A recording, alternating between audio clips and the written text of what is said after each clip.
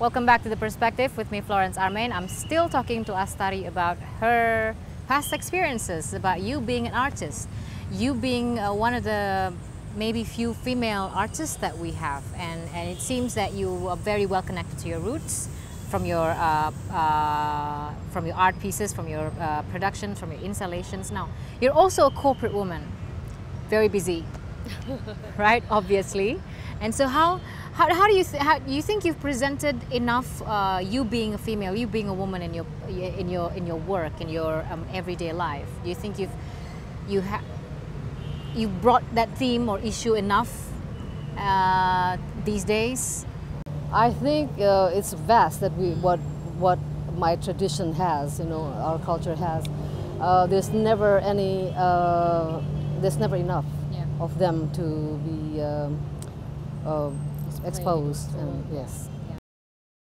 So, uh, and you also seems to, from one of the articles that um, I read on you, is that you have an astute sense of humor with your with your art as well. Yes, of course. I, I'm, I'm very playful because life is already so serious, Yeah. and uh, and in art, you know, we need to be playful. Yeah. So, is this something that you've acquired from from the start of your career as an artist, or is it something you've acquired just recently, looking at the situations that Indonesia is facing these days? No, it has been the Indonesia has been like this. You know, it has been uh, uh, so many. There's so many things that we we can joke about. You know, ever since I become an artist, maybe the reason why I become an artist is also that I can and brought up my my views, my uh, kind of social and political aspiration through my art. So, Astari, this big project is coming up um, February 6 to March 8 for four weeks. Uh, you'll be involved in this exhibition. What are your expectations, and what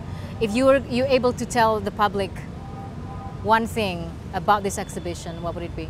Oh, this is an exceptional uh, show, uh, exhibition, uh, very rare too. And uh, I think uh, I would tell everybody, and my children and my friends, that is, this is very educating because uh, it will offer so much that we all should know, being Indonesian or being foreigner who, who, who, who are living in Jakarta. To understand better about the, the, the culture. But the- the culture of Indonesia and all that. I've been telling uh, the ambassadors where I met, you know, and I said this is an important show, and they're all excited. Yeah. So I guess they'll all be there.